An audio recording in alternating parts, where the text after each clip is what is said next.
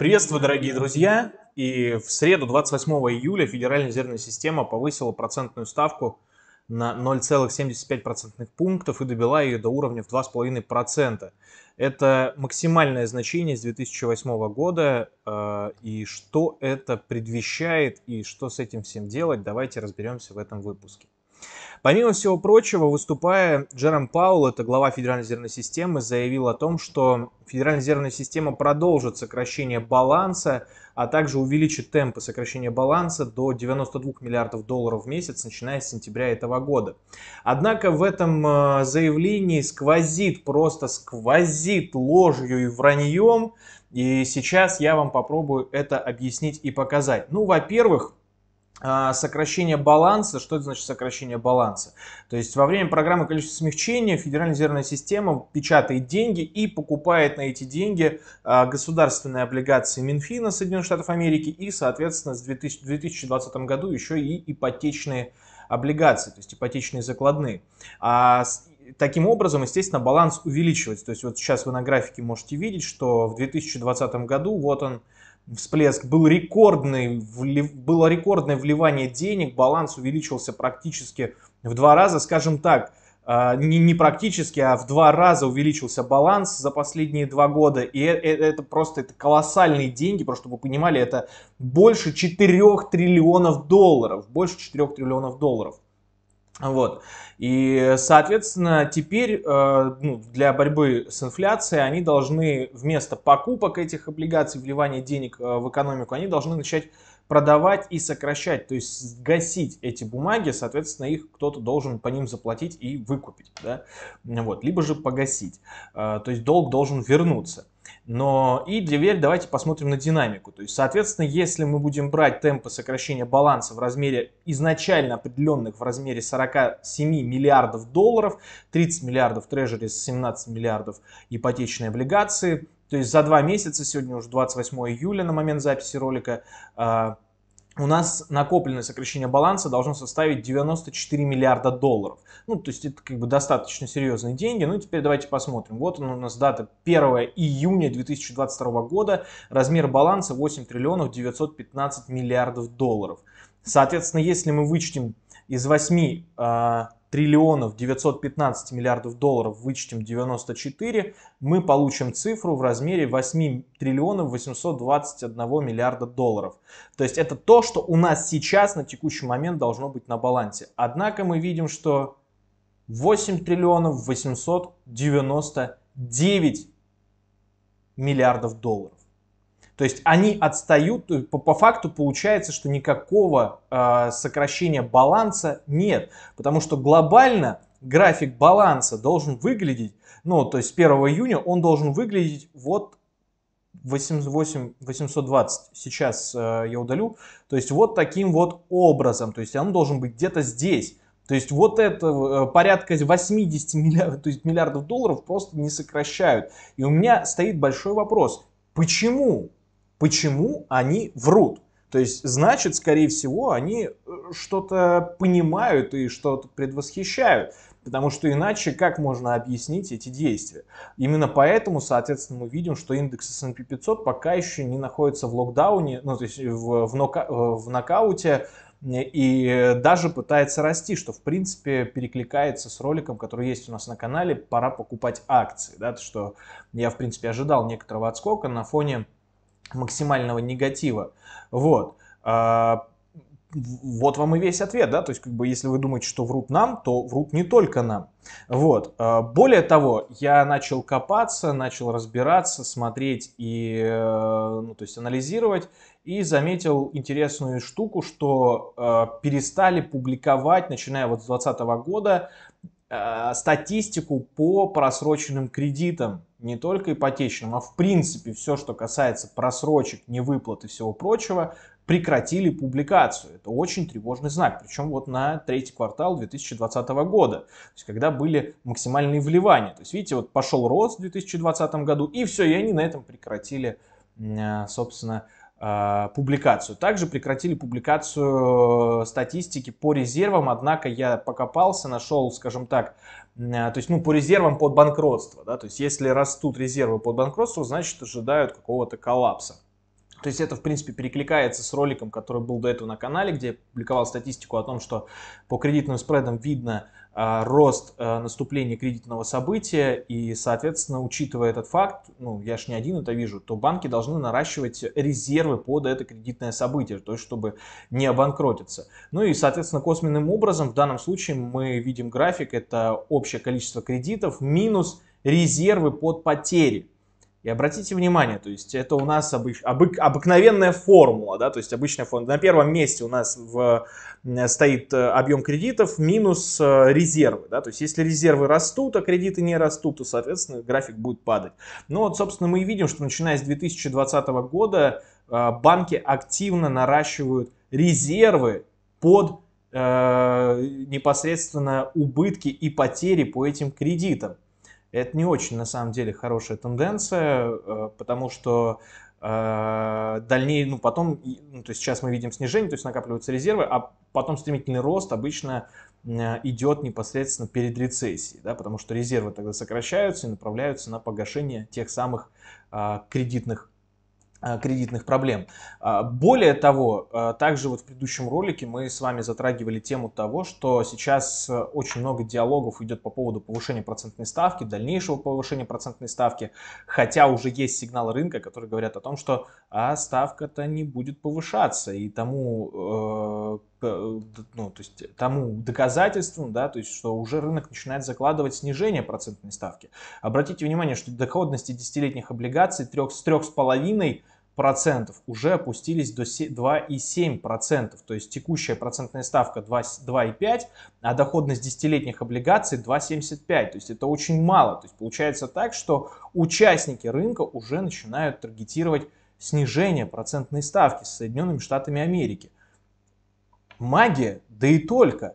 Более того, э, я хочу вам показать еще ряд интересной статистики на канале э, RealStat, собственно, э, по поводу э, по поводу следующих моментов. Во-первых, несмотря на то, что все говорят вокруг про большой уровень кэша, аллокация в акции остается на достаточно экстремальных отметках. То есть в данном случае мы видим соотношение акций облигаций непосредственно в портфелях.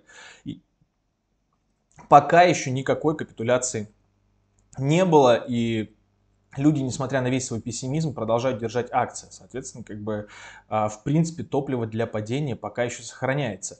Более того, а, если мы будем возвращаться к истории по поводу инфляции, тоже в предыдущем ролике об этом говорил, у нас есть такой прекрасный, чудесный показатель, как Break-Even Inflation Rate, а, подробно разобранный в курсе «Разумный инвестор». Он говорит также о снижении инфляции.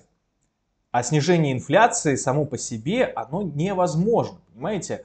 А, ну, э, не, не то, что невозможно, да, в текущих условиях это будет говорить лишь об одном, о том, что наступила глубокая рецессия, то есть когда разрушится сам спрос, понимаете?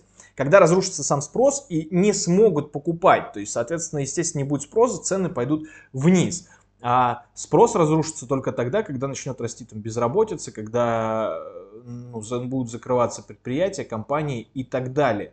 Э, и вот вам, соответственно, пожалуйста. Да? То есть, как бы получается, что более того, э, опять-таки, если мы вот коснемся, есть чудесненькая статистика, сейчас я ее попробую найти, э, которая говорит, что в среднем рецессия в Соединенных Штатах Америки, она приводила к снижению инфляции на размер около 6,8% годовых. То есть э, в среднем рецессия, которая когда наступала, ну, не найду, наверное, уже не здесь, вот, она приводила к снижению инфляции э, на 6,8%.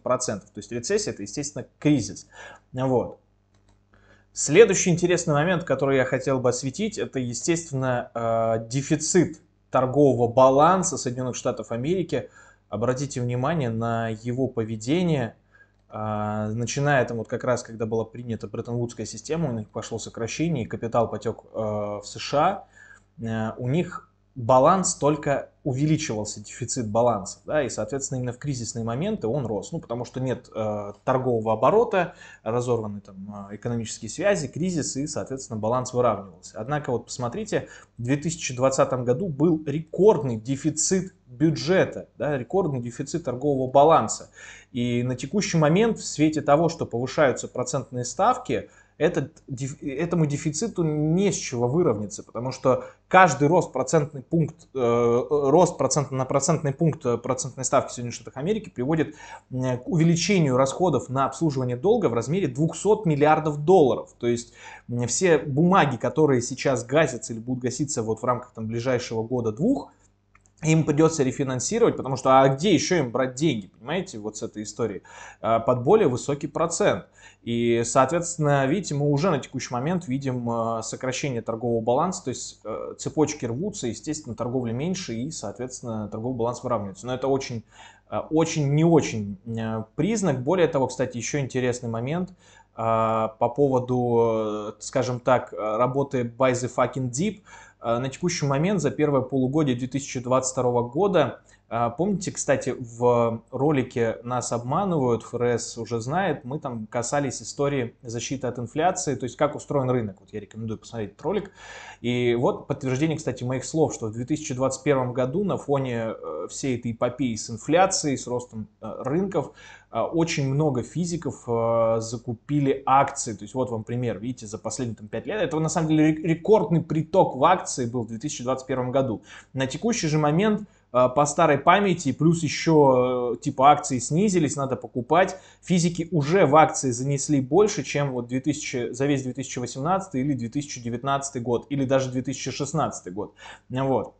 Покупая одно. Э, более того, вот, кстати, пример притоков фонды плечевых тоже, несмотря, ну, то есть в порыве того, что рынок будет расти всегда, люди просто массово несут деньги в плечевые фонды, Э, соответственно, рассчитывая на э, мегаприбыль, хотя акции того же тройного ETF на NASDAQ упали на 72% в этом году.